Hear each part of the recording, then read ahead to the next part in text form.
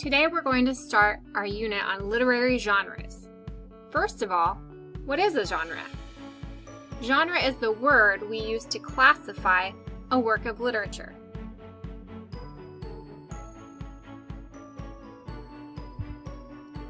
There are three main categories of genres fiction, nonfiction, and poetry. Our school library is organized by genre we have a section for fiction and a section for nonfiction. The fiction section is divided by subgenres. Let's start by talking about some of the subgenres of fiction. The first subgenre of fiction we'll talk about is realistic fiction, which includes realistic characters and events that could happen in real life.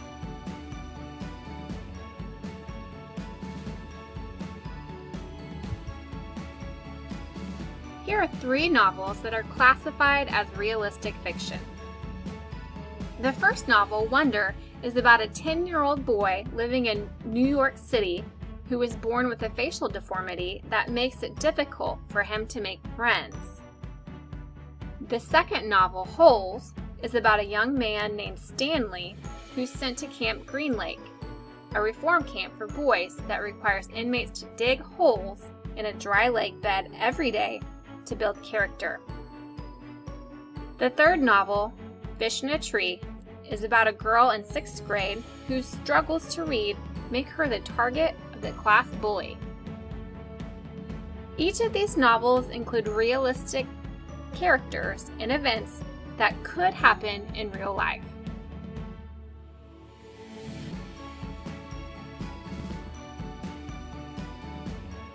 The second subgenre of fiction we'll talk about is historical fiction, which takes place in the past. Historical events are usually accurate, but characters are often made up.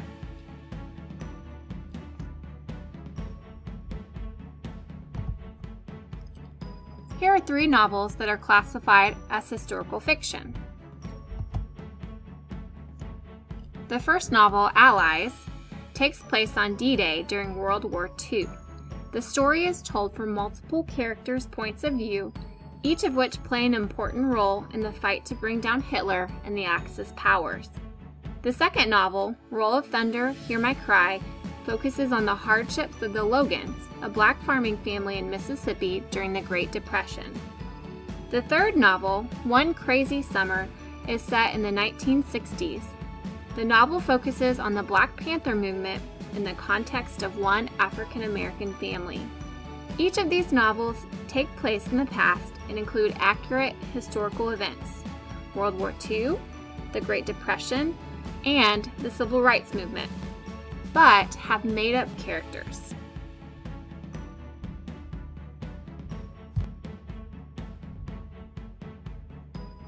The third subgenre of fiction we'll talk about is fantasy fiction. It's a genre in which the plot could not have happened in the real world, involving fantastic elements such as magic and talking animals.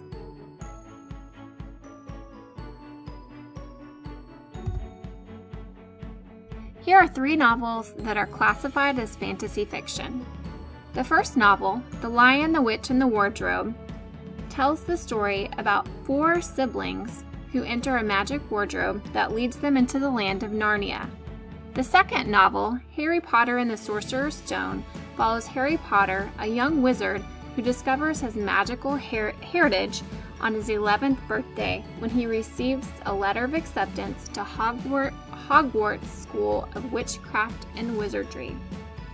The third novel, Gregor the Overlander, is about the adventures of an 11 year old boy named Gregor who falls through a grate in the laundry room of his apartment building and is hurtled into the dark underland. This underland is populated by spiders, rats, and giant cockroaches who coexist uneasily with humans. Each of these novels include plots that could not have happened in the real world and include fantastic elements such as magic and talking animals.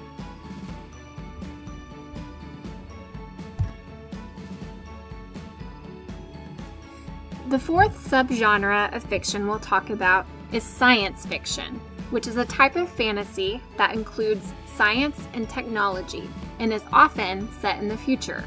Many stories include machines, robots, and or aliens.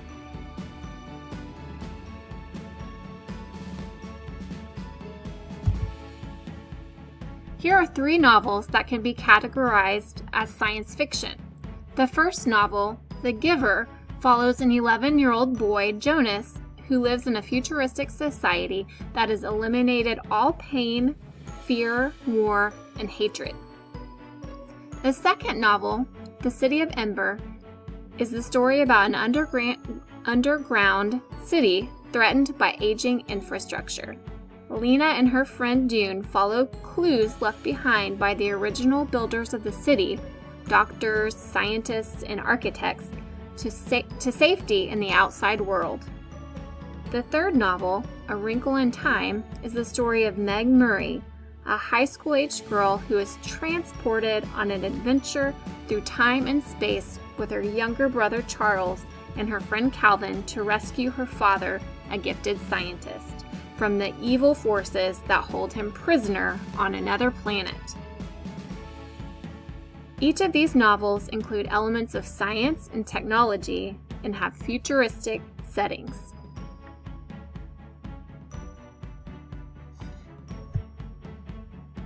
The fifth subgenre of fiction we'll talk about is mystery.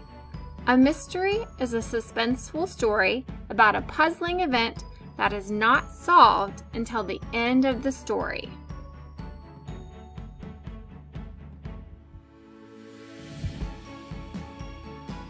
Here are three novels that can be categorized as mystery. The first novel, The Mysterious Benedict Society, is about a group of children with extraordinary gifts and talents. They are recruited by the mysterious Mr. Benedict, the society's figurehead who suffers from narcolepsy, to infiltrate an evil institute run by his despicable twin brother. The second novel, The Westing Game, features a plot that centers around the will of an eccentric millionaire. The named beneficiaries of the billionaire's will must play a game to discover who murdered him in order to inherit his fortune. The third novel, Escape from Mr. Limoncello's Library, is about 12 seventh graders who get to spend the night in the local library designed by the world famous game creator, Luigi Limoncello. They're given 24 hours to find the secret exit and win the prize.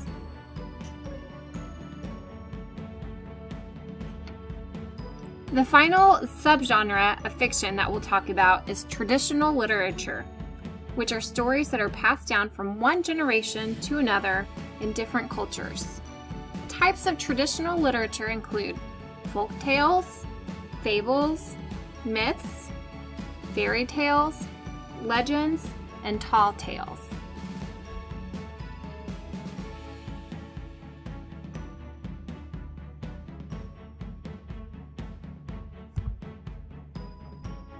Examples of traditional literature include the legends of King Arthur and the Knights of the Round Table, the mythical tales of the Greek and Roman gods, Native American myths and legends, fairy tales such as Rumpelstiltskin, in Little Red Riding Hood, Aesop's fables such as The Tortoise and the Hare, and The Ant and the Grasshopper, and American tall tales such as Paul Bunyan, John Henry, Davy Crockett, and Pecos Bill.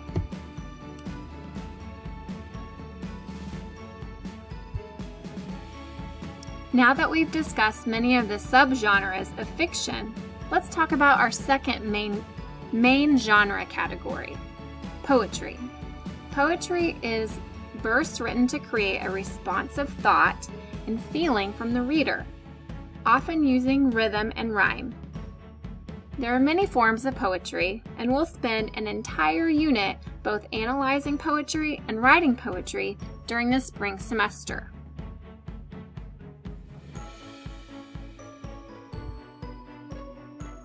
An example of a poem that follows a more traditional rhythm and rhyme scheme is The Road Not Taken by Robert Frost.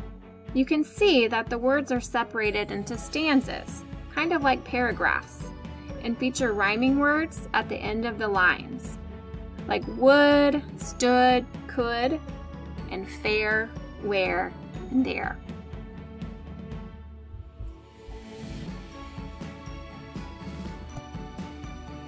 Finally, our third main genre category is nonfiction or informational texts, which are texts that provide factual information to readers about topics such as sports, animals, history, science, weather, geography, space, and careers.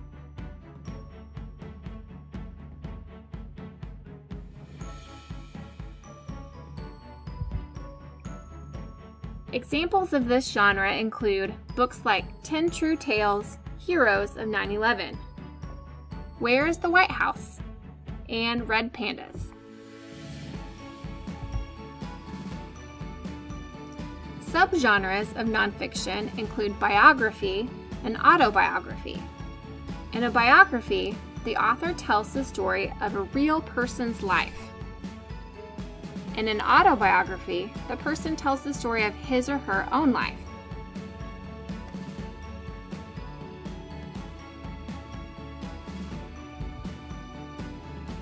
Here are some examples of biography and autobiography. The first novel, Smile, is an autobiographical graphic novel about the author's own childhood as a sixth grader who has an accident that causes her to need braces and headgear she also tells about experiencing a major earthquake, boy confusion, and friendship woes. The second book, Jane Goodall, Animal Scientist, is a graphic biography which describes the life of Jane Goodall from her childhood into adulthood. The third book, Lives of Extraordinary Women, is a compilation of biographies written about 20 of the most influential influential women in history queens, warriors, prime ministers, first ladies, and revolutionary leaders, among others. This concludes our overview of the three main genre categories fiction, poetry, and nonfiction. What genre will you read next?